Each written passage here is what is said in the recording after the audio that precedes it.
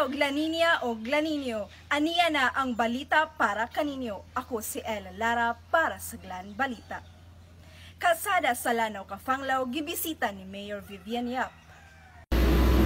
Kaadtong niaging Sabado, Hulyo 4, niadto sa Purok Kapok, Barangay Datalbukay si Mayor Vivian Yap.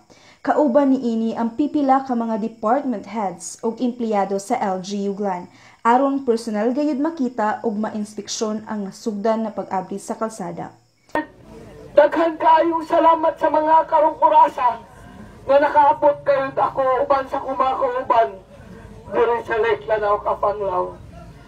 Dakong kalipay ang asinati sa mga katawhan sa maong lugar.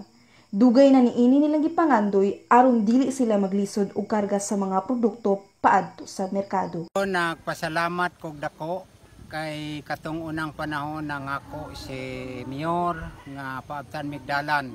Karon kay abutang dalan jud loyo sa kalisod.